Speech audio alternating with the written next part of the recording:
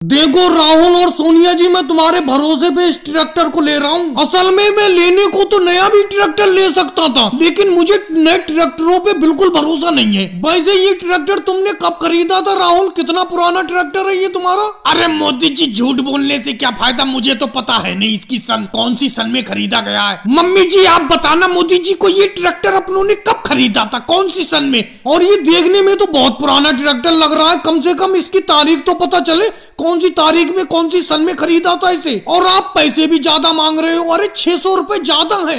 मैं पाँच सौ रूपए दूँगा इस ट्रैक्टर के, कह देता हूँ। देखो मोदी जी, मैं तो झूठ बोलूँगी नहीं। असल में जब मैं यहाँ पर आई थी इंडिया में, तब ये ट्रैक्टर था। मुझे लगता है ये राहुल के दादाजी ने खरीदा था। तारीख उरीख तो हमें पता नहीं है, इसके कागज़ उगज भी सब गुम हो गए। और तुम्हें लेना हो या ना लेना हो, मैं छह सौ रूपए में ही ट्रैक्टर बेचूँगी, पाँच सौ रूपए में नहीं बेचूँगी। अरे सोनिया जी, हम इतनी दूर से ट्रैक्टर खरीदने के लिए आए, सौ रूपए की तो डिस्काउंट कर दो हमें। ज़्यादा नहीं कह रहा हूँ, सिर्फ़ सौ रूपए की, पाँच सौ रूपए में दे दो ये ट्रैक्टर। अच्छा ये बताओ, इस ट्रैक्टर के गियर एक्सीटर सब कुछ ठीक है कि नहीं है? देखो मोदी जी, मैं इस बारे में आपसे कुछ नहीं कहूँगा। वो देखो, हमारा ड्राइवर है, हमेशा से ट्रैक्टर उसी ने चलाया है। अखिलेश नाम है उसका। उससे पूछ लो, सारी चीज़ वो ही बता देगा। एक्सीटर के बारे में, गियर के बारे में सब कुछ बता देगा वो। चलो राहुल, ये पैसे पकड़ो, छह सौ रूपए ट्रैक्टर मेरा हुआ। और भाई साहब, आप ये बताओ, ट्रैक्टर पे बैठे हो, ट्रैक्टर आप ही चलाते थे? जी हाँ मैं राहुल जी के ट्रैक्टर पे दस साल से ड्राइवरी कर रहा हूँ। इनका ट्रैक्टर मैं ही चला रहा हूँ। वैसे भाई साहब, ये एक घंटे में ट्रैक्टर कितना तेल खा लेता है? हम इसमें डीजल या तेल डालते ही नहीं है, ये तो बिना डीजल और तेल के चलता है। वो कैसे? समझा नहीं मैं, बिना तेल के कैसे चलता है ये ट्रैक्टर? वो भाई साहब, ऐसे चलता है, इसके आगे एक ट्रैक्टर लगाना पड़ता है। वो इसे खींचता है तो ये चलता है। ये खुद तो चल ही नहीं पाता, ये तो बूढ़ा हो गया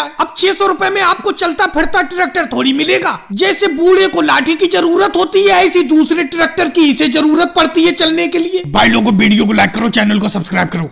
अरे लालू जी, आज तो बहुत लंबी लाइन लग गई गैस सिलेंडर की। जहाँ तक नज़र जा रही है, पूरे एक किलोमीटर तक आदमी आदमी खड़ा हुआ है। इसका मतलब मैं अपने घर से थोड़ा लेट निकल के आया। अरे मोदी जी, लाइन लगेगी नहीं। पूरे एक हफ़्ते में गाँव में गैस सिलेंडर की गाड़ी आई है। वैसे हफ़्ते में दो बार गैस सिलेंडर की गाड़ी आती थी गैस सिलेंडर देने के लिए। लेकिन अब एक हफ़्ते में आई है। लेकिन मोदी जी, तुम इतना लेट निकल के क्यों आए अपने घर से? अब तो तुम्हें लास्ट में लगना पड़ेगा, बिल्कुल आखिर में जाके। क्या बताऊँ लालू जी, कल मैं नीतीश कुमार जी ने जो भंडारा कराया था, वहीं पर चला गया था। वहाँ से काफ़ी रात में आया, इसीलिए सुबह मेरी आँख बहुत लेट खुली। और जैसी पता चला अलाउंस हुआ कि आज गैस सिलेंडर की गाड़ी आई है, मैंने भाग लगा दी। जब यहाँ आकर देखा तो एक किलोमीटर तक लाइन लगी हुई है गैस सिलेंडर लेने वालों की। अरे राहुल और अमित शाह जी अरे अगर पीछे लगूँगा तो पूरे दिन भर में नंबर आएगा। थोड़ा थोड़ा सा गैप कर लो अपने बीच में। यहीं पे मैं खड़ा हो जाता हूँ। किसी को पता भी नहीं चलेगा। देखो मोदी जी, जब आप आराम से घर पर खटिया पर सो रहे थे